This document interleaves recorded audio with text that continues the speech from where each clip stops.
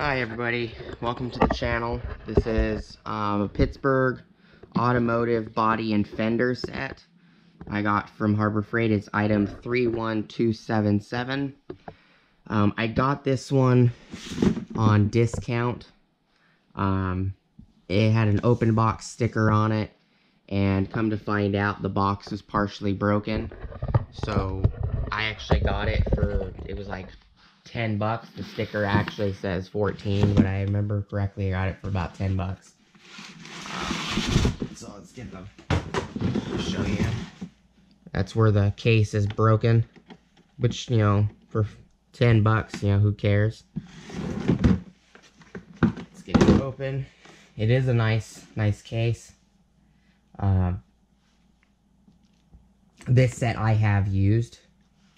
I just put, you know, most of it back in the wrapping. Some of it I haven't used. Um, these hammers, I've used all three of the hammers. This one's all ripped, you know, it's not really protecting anything. But the hammers are nice. Um, they're pretty lightweight. The grips, just like the last video, the grips are nice and comfortable. This one I used a ton um, for shaping. Uh, I had a screwed up door on my 4Runner. This one I have not used yet, but it is a really nice hammer. So, all in all, it's a great set. You know, when I need these pieces, I'll unwrap them.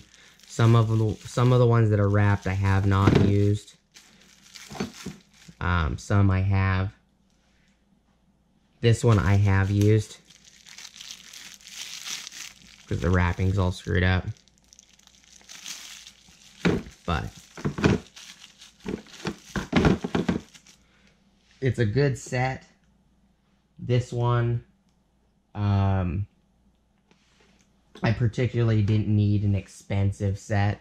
I don't do body work personally at my house very often. This is just my house kit. Um, I do more body work at my shops.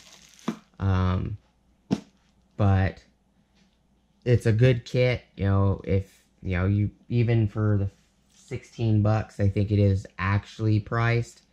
It's not bad. The newer kits, they come in a better case. This case is not as great, but it, it does the job. It holds the tools in there. You know, that's all that matters. Um, so my review on this, is it worth it? Yeah, I, I honestly think this kit is worth the 16 or so bucks. Uh, I'll eventually stop using the cardboard sleeve, but, you know, just to give you an idea.